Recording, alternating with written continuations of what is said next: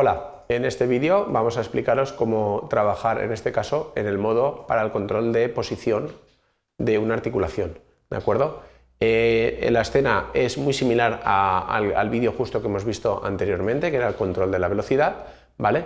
El objeto eh, que vamos a mover sigue siendo un objeto dinámico, que podéis comprobar, ¿vale? El objeto, la barra que vamos a mover sigue siendo un objeto dinámico y la articulación que veis aquí es también sigue estando trabajando en, eh, en el modo par fuerza. Sin embargo, lo que hemos habilitado es el bucle de control para poder establecer en este caso la posición de referencia. Fijaos que al habilitar esta opción de aquí, se nos ha habilitado este campo de aquí, que es el de la posición de referencia, el target position, ¿vale? que son, eh, en este caso aquí lo indicamos en grados, ¿vale? y de hecho se nos ha deshabilitado la opción de poder establecer la velocidad de referencia, porque ahora lo vamos a controlar por posición. ¿vale? Lo que sí que podemos hacer es controlar o regular la velocidad a la que podemos alcanzar o queremos alcanzar eh, la velocidad máxima a la que eh, que podemos eh, permitirnos con esta articulación, ¿vale? Este es un parámetro que podríamos modificar, ¿vale?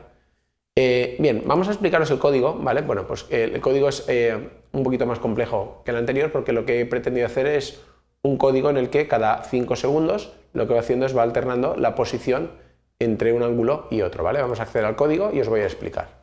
Vale, mirad.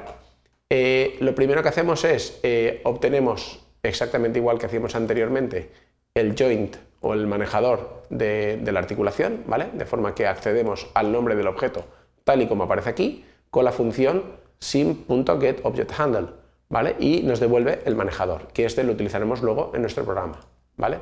También nos interesa en este caso declarar una variable que obtenga el tiempo actual de simulación, Esto lo hacemos para medir eh, en todo momento a lo largo de nuestra simulación, saber en qué tiempo estamos y en este caso eh, queremos guardarnos al inicio cuál fue eh, o cuál ha sido el tiempo último en el que hemos ejecutado este código, ¿vale? De momento lo vamos a almacenar en esta variable.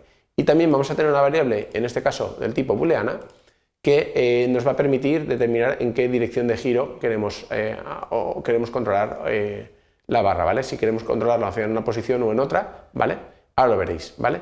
Entonces, lo que hemos hecho es, eh, en la parte del código de actualización, ¿vale? Lo que hemos hecho es, por un lado, hemos eh, establecido una condición que es time elapsed, que es esta de aquí, y que eh, siempre en este if que veis aquí de programación, en este if siempre time elapsed valdrá o true o false, valdrá una de las dos cosas, ¿vale? Con lo que estará bien definida, ¿vale?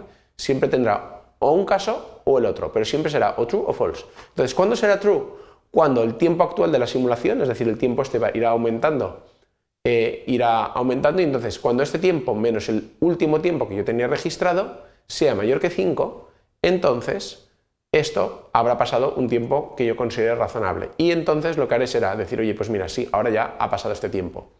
Y lo que hago es, eh, bueno, pues eh, pongo esta variable true y además me quedo con el tiempo actual para la siguiente vez, ¿vale? Es decir, he actualizado el tiempo para que la siguiente vez esto valga muy poco y todavía no, hayan transcurrido 5 segundos, sino que tenga que pasar un cierto tiempo, ¿vale? En concreto 5 segundos, para que esto se vuelva a ejecutar, ¿vale?